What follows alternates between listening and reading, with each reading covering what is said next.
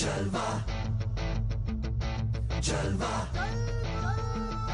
blaze up the walk, light it up to the beat. Come on. Give it to me. Give it to me.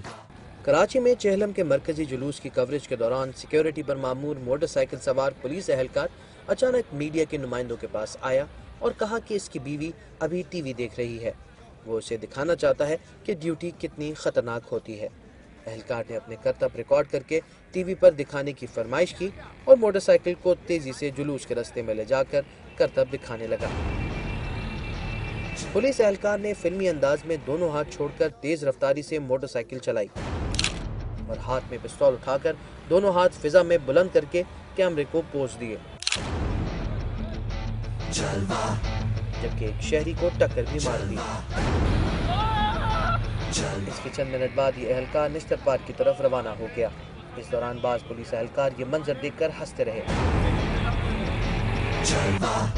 تاہم Jio news پر footage اور خبر نشر ہونے کے بعد S S P Jamshed town مذکورہ اہلکار کو تلاش کرتے ہوئے نمائش رنگی پہنچے۔ ٹی پی او نے جیو نیوز کی D S N G van پر آ کر اہلکار کی فوٹیج دیکھی اور اسے تھانہ فیروز آباد میں تعینات A S I Ghulam Mustafa کے نام سے شناخت کیا۔ مذکورہ اہلکار کو فوری طور پر سیکیورٹی ڈیوٹی سے ہٹا کر اس کے خلاف محکمہ جاتی کارروائی شروع کر دی گئی ہے۔